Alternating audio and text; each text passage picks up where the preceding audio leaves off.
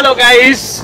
Uh, welcome back. For the new episode जिसमें मैं आज के लिए लेके आ रहा हूँ बर्मी स्टिक। जो बर्मी स्टिक, जो बर्मा से आती है, और वो रेयर यूज़ होता है इधर U A.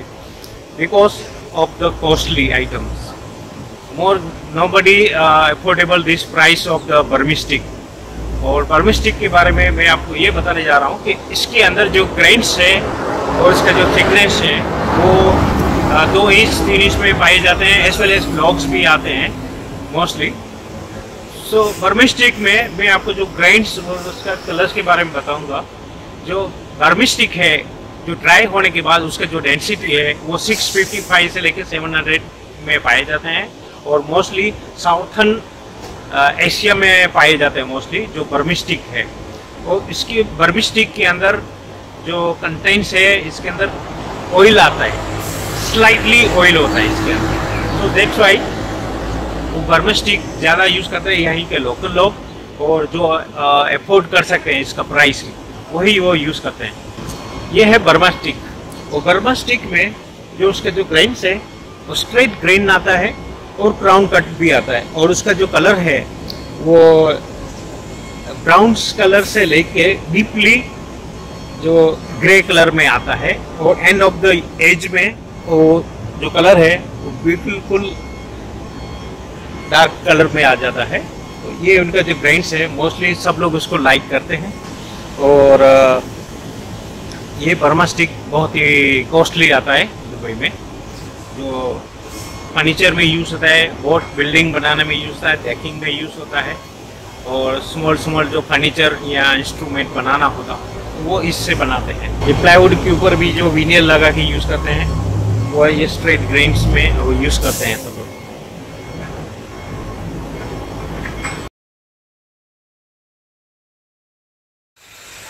ये है बर्मा स्टिक बर्मा स्टिक में जो मिक्स साइज़ भी आता है और सेपरेटर सिक्स साइज़ भी आता है। Two by six two by eight two by ten and two by twelve और लेंथ उसका जो है वो एट फीट एंड लॉन्गर में आता है। मैक्सिमम जो है वो थर्टीन फोर्टीन फीट लंबा तक मिल सकता है। और ये क्लीन ड्राई मटेरियल है। Clean dry easy to use for everywhere in the decking in the furniture as well as interior boat suppose ये यूज़ कर सकते हो आप देख सकते हैं इसका क्वालिटी वाइज जो ये टू बाई सिक्स है ये टू बाई एट है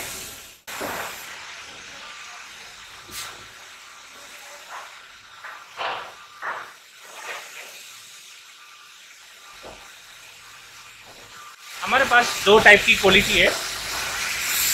एक जो क्वालिटी है, वो स्ट्रेट जेंट्स वाली है। दूसरी जो है, ये कलर में।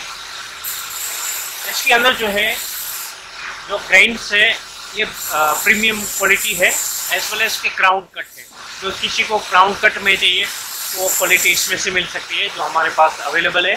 और जिसको स्ट्रेट कट चाहिए, वो इसी क्वालिटी में आपको मिल जाएगी। इसके अंदर भी साइजेस आप देख सकते हैं। मोस्टली सेवन फीट भी है एट फीट भी है और मिक्स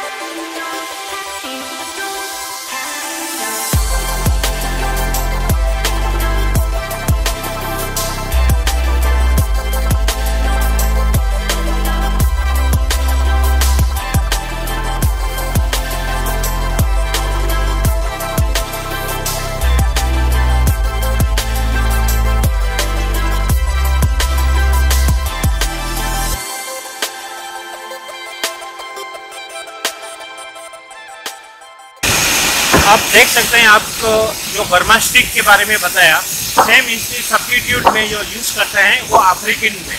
जो वो टेक्नोग्रानिस के नाम से जाने साइंटिफिक नेम टेक्नोग्रानिस के नाम से जाने जाते हैं। और ये मोस्टली है, सुदान टीक है। ऐसा अफ्रीका में से सूडान से आता है बेनिन से आता है गाना से आते हैं, और अलग अलग कंट्री से अफ्रीका से आते हैं।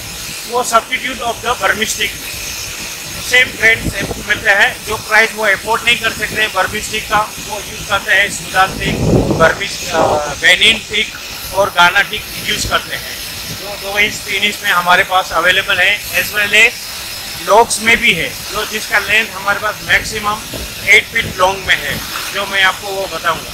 ये है थ्री इंच वाला जो हमारे पास अवेलेबल में है सुधार टिक सुधर ग्रेन जो गोल्डन कलर बोलते हैं सेम इसमें पाए जाते हैं। अब देख सकते हैं, ये है सुदान टिक है, जो प्लांटेशन टिक है, जो ग्रो करके बनाए जाते हैं, ये प्लांटेशन टिक है। जिसके अंदर जो डाया है, वो 60 सेंटीमीटर से लेकर 70 80 तक की डाया में इसमें पाए जाते हैं।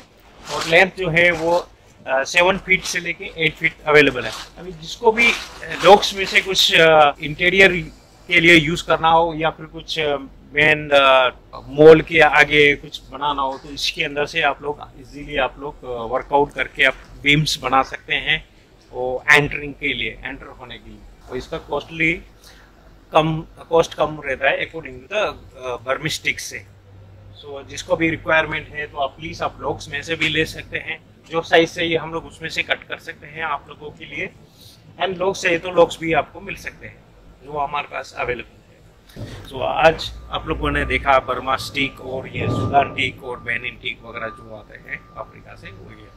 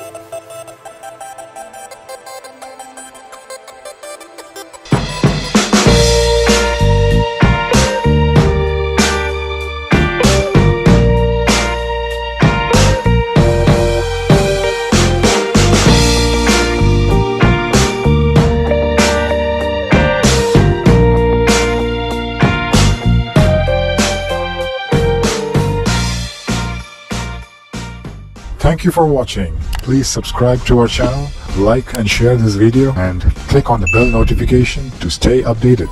Thank you.